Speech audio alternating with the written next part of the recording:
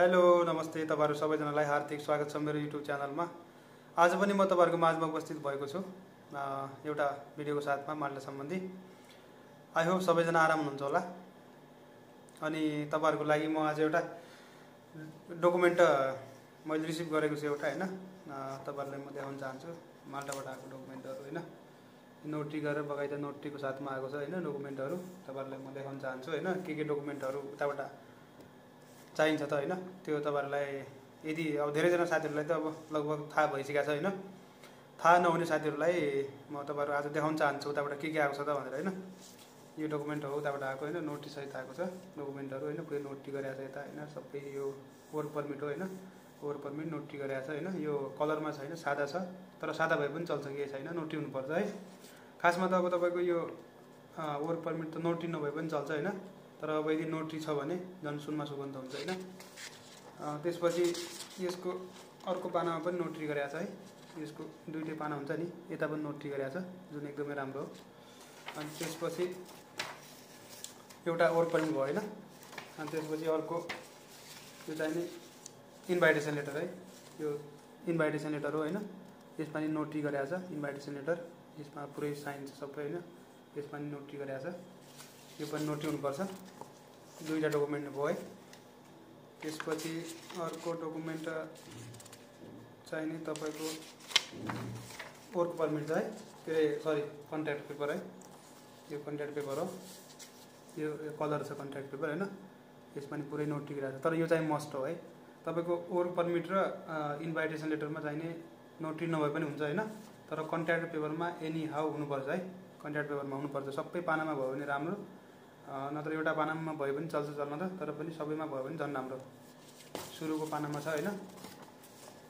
त्यसपछि यो सेकेन्ड पानामा पनि छ है यता नि गरेको छ नोटी गरेको छ पुरै।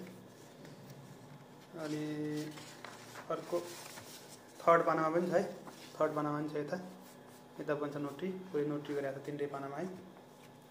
यो एकदमै नो नोटरी गरेकै हुनुपर्छ है कन्ट्र्याक्ट पेपर जहिले पनि नोटरी गरेकै हुनुपर्छ। त्यसपछि यो चाहिँ नि डिक्लेरेसन प्रुफ है। डिक्लेरेसन प्रुफ यस्तो हुन्छ। यता नोटरी गरेको छ है। पुरै नोटरी गरेको छ। यो पनि नोटरी हुनुपर्छ त्यसपछि तपाईँलाई म देखाउन चाहन्छु। यसको अर्को पाना है अर्को पाना पनि नोटरी गरेको छ। पुरै नोटरी गरे हुनुपर्छ है। त्यसपछि यो चाहिँ नि आइडी। यो इम्प्लोयरको आइडी हो होइन?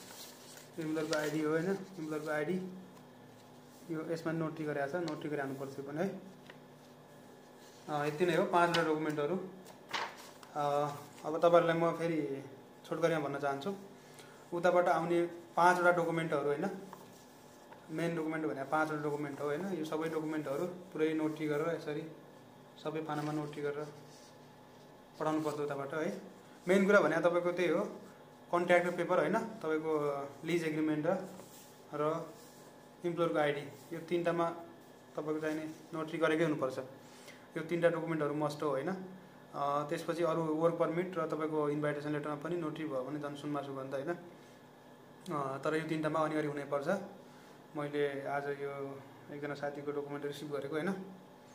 जस्ट फर इन्फर्मेसन होइन तपाईँहरूको लागि एउटा इन्फर्मेसन होइन के के डकुमेन्टहरू चाहिन्छ यो पाँचवटा डकुमेन्टहरू होइन यो सबैमा नोटरी गरेर पठाएको छ एकदमै राम्रो छ।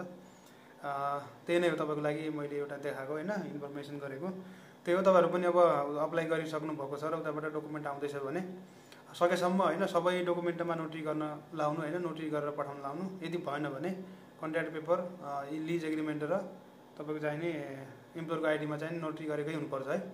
सकेसम्म तपाईँहरूले रङ्गिन नै मगाउँदा राम्रो होइन। रङ्गिन डकुमेन्ट सबै कलरमा मगाउनु भयो भने झन् राम्रो। तर सादामा भए पनि हुन्छ केही फरक पर्दैन। मेन कुरा भने नोटरी हुनुपर्छ त्यही नै हो होइन। हुन्छ आजको लागि यति नै। म तपाईँहरूको लागि फेरि पनि जानकारी लिएर आउनेछु होइन अर्को भिडियोमा।